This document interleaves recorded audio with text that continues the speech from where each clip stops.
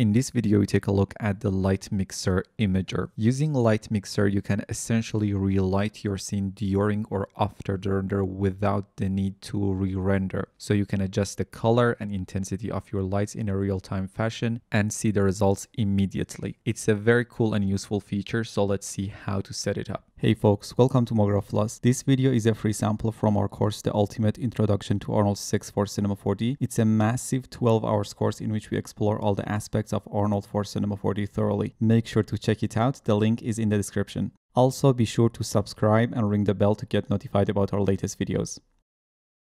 It's similar to the Light Manager, the difference being Light Mixer is more interactive and unlike the Light Manager, the IPR won't reinitialize each time you change a light properties in the Light Mixer. To add a Light Mixer imager, you can go to the render settings and from the effects menu, add an Arnold imager and change the imager type to Light Mixer.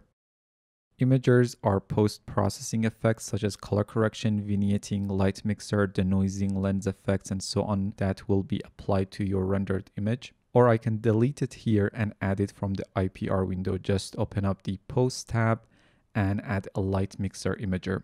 Light Mixer adjusts the contribution of certain light groups to the Beauty AOV. At the time being, I think it only works with the Beauty AOV and does not affect other AOVs. That might change in the future. The first thing to remember is that if you have other imagers like color correct, exposure, and so on, Light Mixer imagers should always be on top of everything, except for Denoiser imagers.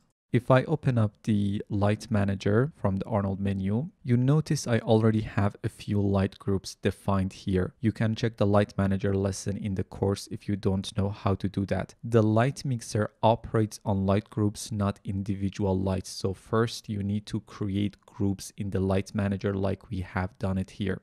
And that's why we get all of these light groups in the light mixer. I'm gonna press Control Tab to maximize the IPR window and run the IPR.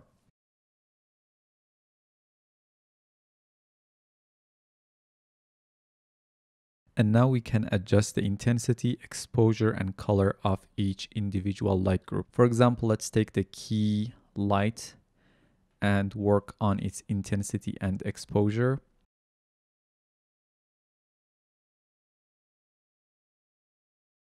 Or change its color.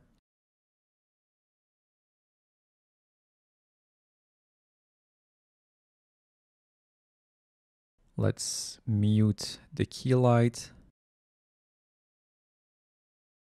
and solo all the fill lights. Maybe I can take the fill right light and increase its intensity and exposure a bit.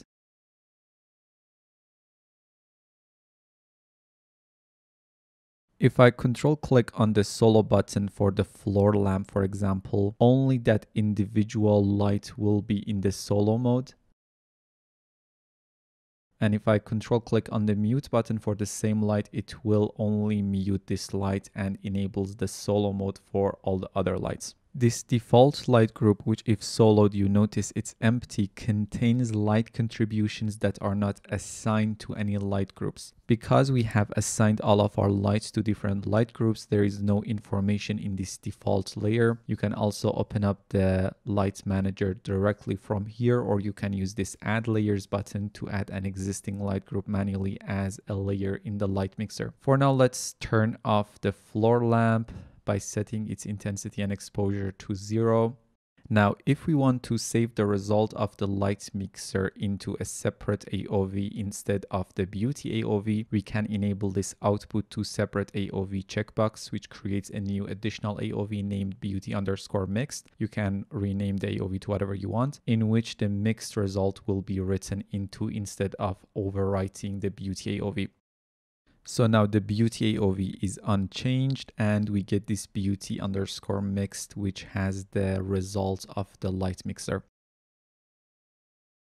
Now this output to separate AOV feature only works in multi-layer Arnold drivers like EXR and when rendering to IPR or picture viewer, but it won't be saved in single layer Arnold drivers like JPEG or PNG. Meaning when you go for the final render, this separate AOV will be saved out only if you are using a multi-layer Arnold driver for the export if you are using something like PNG, this separate AOV won't be saved out. So that's about Light Mixer. See you in the next one.